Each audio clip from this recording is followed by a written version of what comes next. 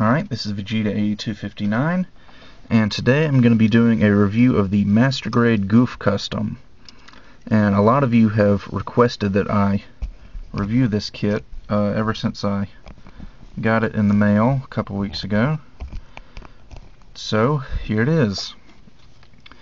Now, uh, I really, really like this kit. If you've seen the 8th MS team, you'll know how badass the Gouf Custom is so there's really no point in explaining it because I probably couldn't do a very good job. So if you don't know what the Gouf Custom is or what it's like, just go watch episode 10, I believe, of the 8th MS team. And you'll see what why this kit's so awesome. Now first off, uh, we'll do colors. He's a little bit different than the standard Gouf colors. Whereas the regular Gouf is like a royal blue. This one is a sky blue. And the torso is kind of a greenish, a dark greenish blue. And then he's got a little bit of black, mainly just the knees and the feet, chest, and backpack. And then uh, the weapons and the inner frame are going to be gray. And he's got a little bit of clear for the face here and clear orange for the uh, cockpit there. And clear, well it's not in there but there's supposed to be a little clear camera in the gun there. Alright for articulation the head is on a ball joint. It doesn't go up and down very much but it does go just a little bit. It rotates 360 degrees Go side to side just a little bit, not much. The arms can go 360. They're kind of stiff. And the shoulder, the, the arm is attached to the torso via a uh, ball joint, so they can go forward and back a little bit and up and down a little bit. The shoulder armor is also attached via a ball joint, so it can go back and forth and wiggle around a bit. The arm can go out about as far as the shoulder armor will allow it to. Let's see.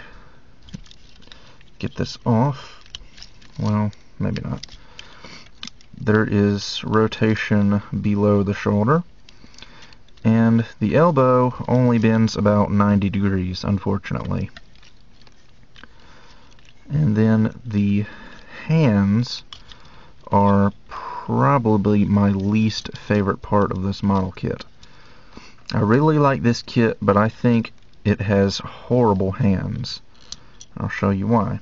It's got a standard ball joint for the wrist, but what Bandai decided to do, instead of having a posable hand, they have this, which the palm of the hand and the thumb are one piece, and use that for all the hand poses, and what they decided to do was give you three different sets of fingers. The just kind of neutral fingers, which you saw, a grasping hand for holding his sword, and then a trigger finger for holding a gun of some sort, which doesn't make much sense in his right hand because his two guns are on his left arm. But uh, other than being kind of lazy, in my opinion, on Bandai's part, they don't really look very well. Uh, I've decided that I'm just going to take the hands off of my Tallgeese uh, that I, my high grade Tallgeese that I did that are B Club hands that are actually from a Gundam Seed uh, Zaku Warrior kit.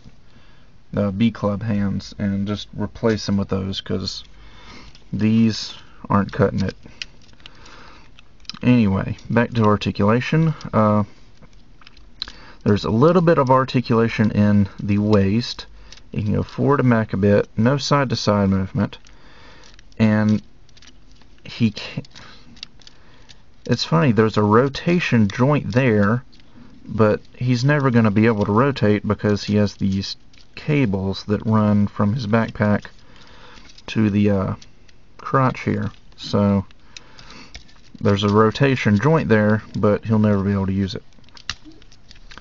Now the cockpit opens. If I can get it open, it's kind of difficult to do so. Let's see. Ah, I'll use Gouf Custom Sword. There we go. The cockpit does open, and you can see that nice clear orange piece, which I think was a nice touch. Uh, the legs, actually the skirt armor first. Side skirts go out a little bit and rotate just a little bit. The front piece is on a ball joint, so it can go up and down and wiggle around a bit. And the back skirt does not move at all.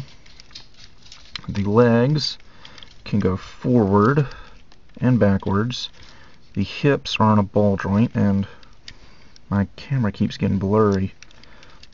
So they can go out and move around a bit. There. The knees can bend about that far. I complained about this kit having bad knees and it's just the way the knees are constructed on the inner frame are is not very stable so just be very careful with it because it has a, a tendency to break easily. The ankles uh, are actually pretty nice. They can go back just a little bit. They can go forward about that far. And then the inner frame of the foot comes off of the bottom of the foot so it can go forward even further. So that's quite uh, far for a Gouf or Zaku or whatever Zeon kit that you want to have. Anyway, the signature weapon of the Gouf Custom is his Gatling shield, which is very nice because it takes the standard Gouf shield and mounts a gigantic Gatling gun on it. And my dog's barking in the background for some reason. But anyway, uh,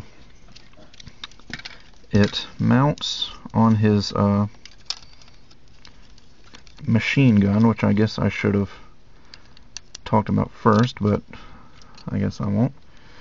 And uh, he holds it just like this. And it's kind of heavy. I doubt you're going to be able to have him in this pose because it's just going to sink down. But uh, if you just want him standing there, then it's gonna it'll be okay. Uh, if you want you know, a really good action pose, you might have to stiffen that joint with some glue or whatever you may prefer to use to stiffen up joints with.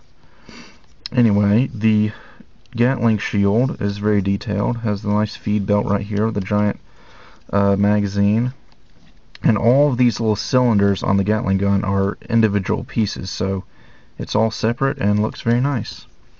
Also, the shield has a storage place for his uh, heat saber, not to be confused with a beam saber. It's basically just a metal sword that heats up incredibly hot and slices through uh, other mobile suits.